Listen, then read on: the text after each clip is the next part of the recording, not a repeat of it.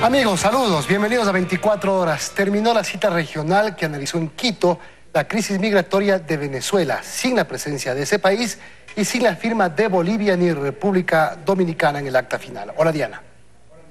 ¿Qué tal, Víctor? Amigos, buenas noches. 11 de los 13 países de la región firmaron la declaración de Quito que promueve acoger a los ciudadanos venezolanos que salen de su país y exhorta al gobierno de Maduro a entregar documentos de viaje. Aquí el detalle. Con la firma de 11 de los 13 países presentes, la Declaración de Quito cerró el encuentro regional en el que manifestaron la voluntad de acoger a los inmigrantes venezolanos y enfrentar la crisis migratoria. Aunar esfuerzos de pedir la cooperación internacional de los organismos, sobre todo el sistema de Naciones Unidas, en particular organismos como la Comunidad Andina de Naciones y el Mercosur.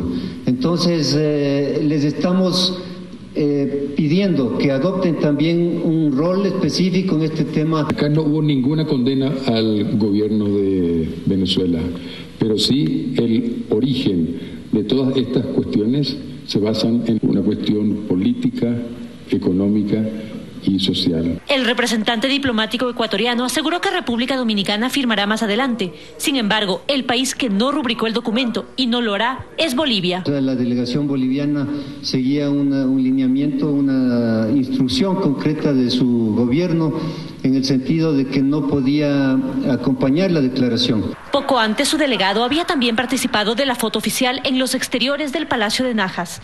Representantes de los países que suscribieron la declaración de Quito explicaron su alcance. Estamos invocando a que los estados cooperantes y los organismos internacionales puedan incrementar la ayuda en la cooperación técnica y financiera. Les decimos que los menores indocumentados van a ser documentados decimos que vamos a reconocer los documentos vencidos. Y en el punto quinto, exhortan al gobierno de la República Bolivariana de Venezuela para que tome de manera urgente y prioritaria las medidas necesarias para la provisión oportuna de documentos de identidad y de viaje de sus nacionales. Los delegados explicaron que el documento respeta el margen de acción de cada país. Sin embargo, de manera individual también hicieron otras propuestas. Paraguay está en condiciones de dar cobijo de dar ayuda. Ecuador ofreció nuevamente ser sede de otro encuentro regional para dar seguimiento a los puntos consensuados la segunda semana de noviembre. En Quito, María Gracia Costa, 24 horas.